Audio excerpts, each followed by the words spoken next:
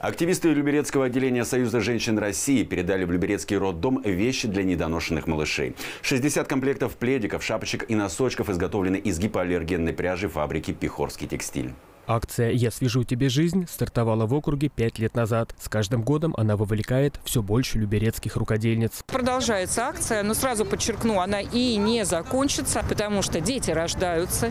И, к сожалению, в свете событий, пандемии, сейчас вот этих военных действий, это негативно сказывается на девушках беременных, на мамочках, и растет число недоношенных детей.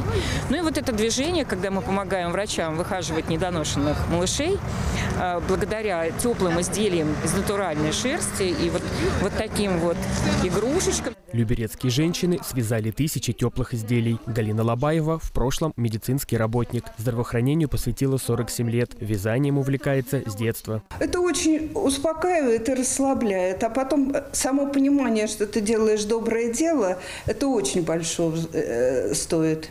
Поэтому я всем советую.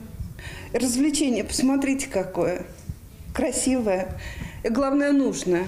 Светлана Позднякова появилась на свет в Люберецком роддоме. Позже здесь родила троих детей. Вязание – ее хобби, и она тоже присоединилась к акции. Это, Это пледики, пледики для маленьких детишек, шерстяные. В отделении реанимации и интенсивной терапии новорожденных четверо детей. Самый маленький ребенок весит 830 граммов, самый большой – килограмм 800. Согреванию тела детей способствует не только медицинское оборудование. Уже давно мировой педиатрии, мировой неонатологии, реанимации новорожденных доказано, что вот эти вещички оказывают дополнительное действие, не только согревающее, но и тактильное действие.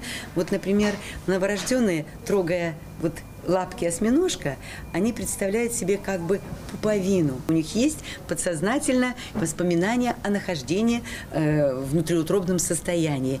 И вот это вот все успокаивает наших малышей и способствует их выхаживанию. За первый квартал 2022 года в Люберецком роддоме появились на свет 974 ребенка. Самым крохотным малышам уже передали теплые вещи, которые связали мастерицы из Союза женщин России. Богдан Колесников, Петр Пономаренко, телеканал ЛРТ.